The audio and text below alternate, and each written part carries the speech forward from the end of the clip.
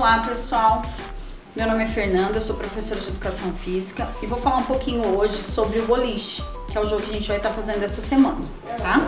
Para isso você vai precisar de 3 a 6 garrafas PET e aí na nossa garrafa aqui, ó, eu coloquei um adesivo com os números de 1 a 6, tá bom? Vou colocar lá a garrafa. E aí, se você não tiver bola na sua casa, você pode fazer uma bolinha de papel e colocar na sacolinha plástica, ou você pode fazer uma bolinha de meia, tá? Qualquer uma das duas. Se você tiver uma bola também, pode usar a bola que você tem em casa.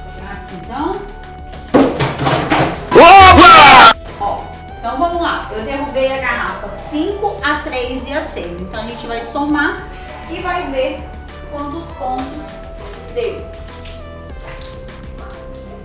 E aí assim vai, vai outra pessoa depois e a gente vê quem pontuou mais. Tudo bem? Essa é a nossa dica de hoje. Um grande beijo, fiquem com Deus. Hoje para mostrar para vocês é, a montagem de um brinquedo de materiais recicláveis, que é o jogo da velha.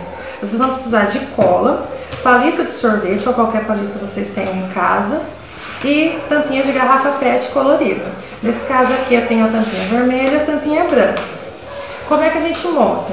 Primeiro a gente vai colocar dois palitos na horizontal e pingar um pingo de cola em cima e embaixo para colocar os outros dois palitos.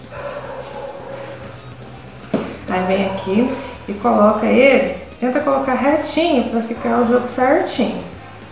E vem e coloca os, o outro palito embaixo. O jogo vai ficar assim depois de seco. Para jogar é bem simples. Vence quem conseguir colocar a sequência tanto na vertical, quanto na horizontal, quanto na diagonal.